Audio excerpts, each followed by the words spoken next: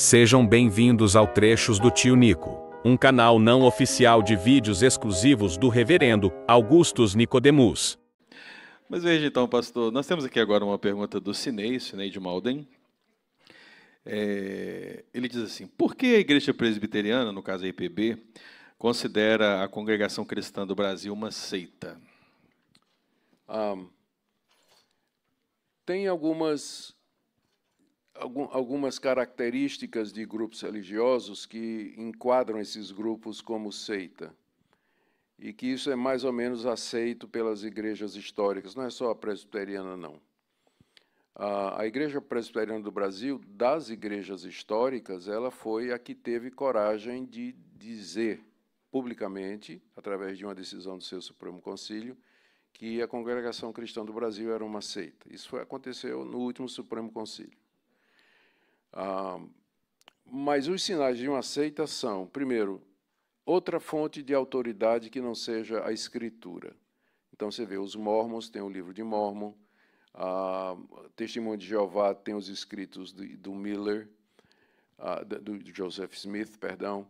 Não, Smith é os Mormons, é, é exatamente. Depois tem a Testemunha de Jeová, que tem também suas fontes de autoridade. O adventismo, na sua forma mais radical, tem que lembrar que o adventismo ele é multifacetado, não é? Ele não é homogêneo.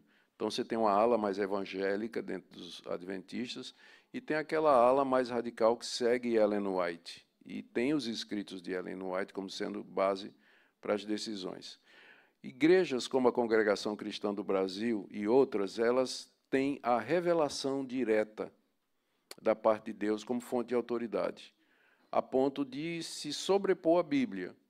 Então, em vez de serem guiados pelo que a palavra escrita diz, eles esperam revelações diretas da parte de Deus através de sonhos, visões, ou a voz de Deus, ou a aparição de anjos, para poder tomar decisões ou estabelecer doutrinas. Então, muitas das práticas da CCB e de outros grupos similares, como a Maranata, por exemplo, é baseado não na escritura, mas é baseado nessas visões, revelações e assim por diante. Então, o primeiro sinal da seita é outra fonte de autoridade. Igreja Católica, por exemplo, é, não tem só a Bíblia como regra de fé e prática, tem a tradição e o magistério, que é o colegiado de bispos que tomam decisões e são encabeçados pelo Papa, que é considerado infalível quando ele fala ex cátedra, fala de ofício, né?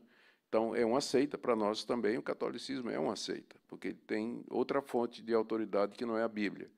A segunda coisa é que, de alguma forma, é, esse grupo diminui a pessoa e a obra de Cristo. Então, uma, o legalismo, a CCB domina usos e costumes, o tamanho do cabelo, o tamanho, o tipo de roupa, o que é que o crente pode ver e pode não ver então, é, isso é característico de seita, esse domínio, controle da vida pessoal, individual dos membros da igreja. Né? E geralmente através de ameaças. Se você deixar, você vai ser amaldiçoado, você vai morrer, vai ter castigado e assim por diante. Então, a CCB tem isso também e várias outras igrejas, da mesma forma. Uma outra característica é o exclusivismo. É dizer que fora da CCB não há salvação no estatuto da CCB, está dizendo que a obra de Deus no Brasil começou em 1910, quando Luiz Franciscon veio ao Brasil e iniciou o trabalho lá no interior de São Paulo. Oh, então, antes de 1910, não, não tinha o reino de Deus aqui? Então, os membros da CCB, eles são proibidos de ver pregação de outras pessoas, de outras igrejas, de assistir outros pregadores, são, são guiados para ficar ali. Isso é uma característica da seita.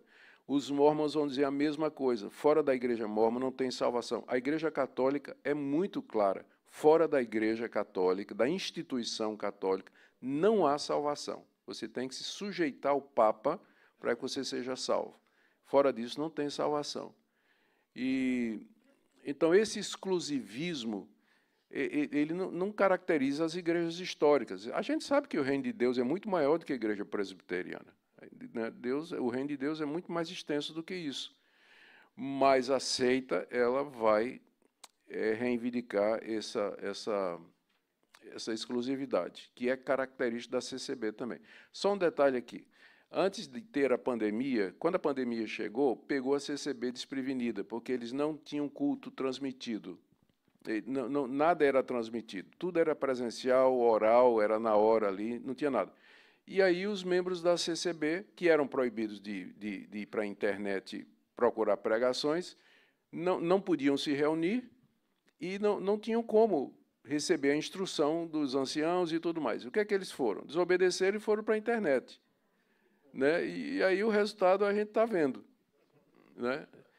Quantidade de CCBistas que começaram a, a entender, descobriram que a grama do outro lado é mais verde, né? e pularam a cerca. Né? E pularam a cerca. Mas foi por conta da pandemia. E tem uma leva enorme de gente saindo da CCB. Enorme, enorme mesmo.